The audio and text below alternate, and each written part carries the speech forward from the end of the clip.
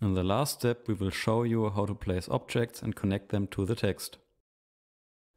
The steps are essentially the same as when drawing textures in the last video. Means open the data browser, find a suitable object via the categories or search function, take the concept cube and place it in the ShapeNet object editor in the Objects tab.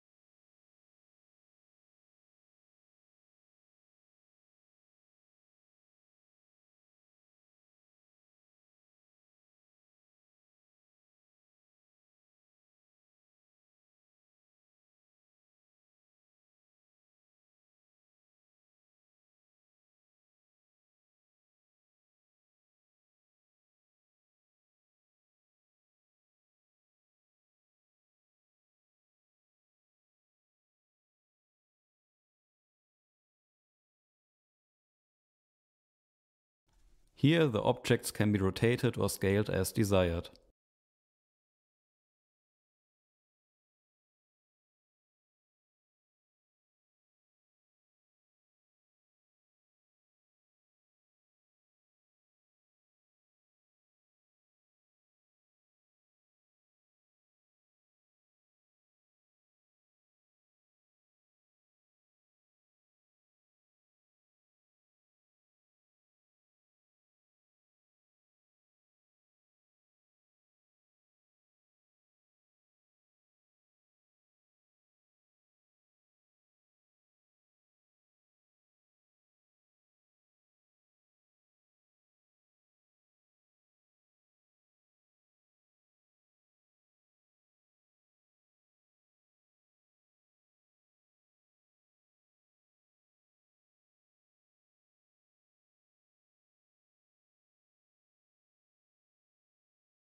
Finally, the tokens or multi-tokens can be linked to the corresponding objects by drag and drop.